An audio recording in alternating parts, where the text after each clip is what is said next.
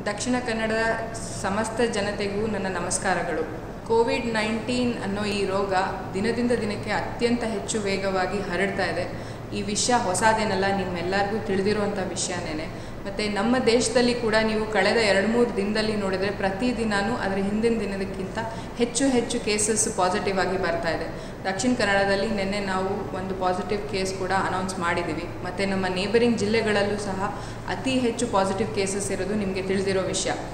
ಇದೆಲ್ಲ ಕನ್ಸಿಡ್ರೇಷನ್ಗೆ ತಗೊಂಡು ನಾವು ಲಾಕ್ಡೌನ್ ಥರ್ಟಿ ಫಸ್ಟ್ ಈ ತಿಂಗಳ ತರ್ಟಿ ಫಸ್ಟ್ ತನಕ ಅನೌನ್ಸ್ ಮಾಡಿದ್ದೀವಿ. ಈ ಲಾಕ್ಡೌನ್ ಅನೌನ್ಸ್ ಮಾಡಿದರೂ ಕೂಡ ಎಷ್ಟೊಂದು ಅಂಗಡಿ ಮುಂಗಟ್ಟುಗಳು ಓಪನ್ ಇದೆ ಅಂತ ನನಗೆ ಕಂಪ್ಲೇಂಟ್ಸ್ ಬರ್ತಾ ಇದೆ. ಆದ್ದರಿಂದ ಈ ಒಂದು ಆರ್ಡರ್ನ ಎಲ್ಲರೂ ಸೀರಿಯಸ್ ಆಗಿ ತಗೊಳ್ಳೇಬೇಕು. ಈ ಲಾಕ್ಡೌನ್ ಒಂದು ದಿನದ ವಿಷಯ ಅಲ್ಲ.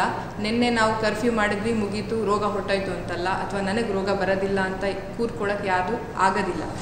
ಎಲ್ಲರಿಗೂ ಬರಬಹುದು ಇದು, ಮತ್ತು ಕಮ್ಯುನಿಟಿ ಟ್ರಾನ್ಸ್ಮಿಷನ್ ಅನ್ನೋ ಸ್ಟೇಜ್ಗೆ ಹೋದರೆ ಆವಾಗ ಇದನ್ನು ತಡೆಯೋದಕ್ಕೆ ಬಹಳ ಕಷ್ಟ ಆಗುತ್ತೆ. ಆದ್ದರಿಂದ ದಯವಿಟ್ಟು ಎಲ್ಲರೂ ನಾವು ಕೊಟ್ಟಿರೋ ಆದೇಶನ ಸೀರಿಯಸ್ ಆಗಿ ತಗೊಂಡು ಈಗಲೇ ನಿಮ್ಮ ನಿಮ್ಮ ಮನೆಗಳಿಗೆ ವಾಪಸ್ ಹೋಗಿ ಅನ್ನೆಸೆಸರಿ ಟ್ರಾವೆಲ್ನ ಎಲ್ಲರೂ ಅವಾಯ್ಡ್ ಮಾಡಿ ಶಾಪ್ಸ್ ಎಲ್ಲ ಓಪನ್ ಇರೋದನ್ನು ಕ್ಲೋಸ್ ಮಾಡಿ, ಇಲ್ಲಾದರೆ ಎಲ್ಲರ ಮೇಲೆ ಕಠಿಣ ಕ್ರಮನ ತೆಗೆದುಕೊಳ್ಳಲಾಗೋದು